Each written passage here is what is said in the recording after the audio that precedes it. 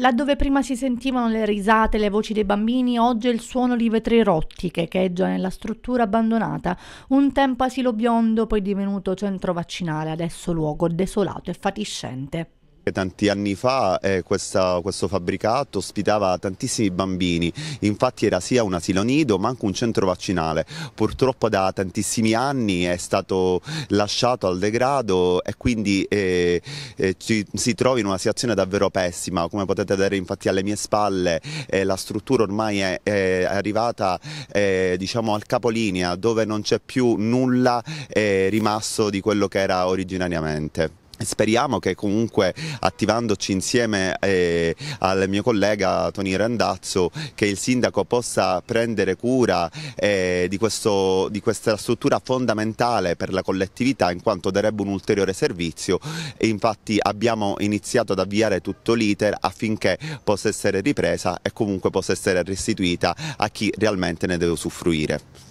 Ci troviamo a Palermo, vicino all'ospedale civico, a denunciare lo stato di degrado in cui versa una struttura invasa da rifiuti, calcinacci, feci umane, un fabbricato lasciato in balia di vandali che in maniera agevole accedono, poiché i cancelli sono aperti o comunque ne permettono l'accesso abbandono, degrado e incuria, ma cosa si potrebbe fare per riqualificare questo posto? Sì, c'è un progetto per eh, rifunzionalizzare questo luogo e renderlo un asilo eh, comunale, quindi per riconsegnarlo alla cittadinanza. Questo progetto ha un finanziamento con i fondi del PNRR e questo finanziamento però rischia di andare eh, perduto. Eh, sono state avviate delle interlocuzioni con il governo eh, centrale ma c'è un diniego per poter eh, proseguire con le scadenze, quindi quello che chiediamo al sindaco è di eh, farsi promotore di alcune interlocuzioni con il governo centrale per salvare questo finanziamento o individuare altre risorse per riconsegnare la struttura dell'ex asilo biondo alla collettività.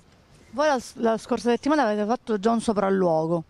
Sì, abbiamo fatto dei sopralluoghi con i tecnici eh, del comune, la situazione è davvero eh, preoccupante, all'interno hanno anche appiccato un incendio qualche mese fa, una struttura chiusa da molti da molti anni dove succede di tutto, abbiamo visto anche eh, oltre ai rifiuti abbandonati, anche eh, feci umani, siringhe. E la struttura che ogni giorno rischia sempre più un peggioramento.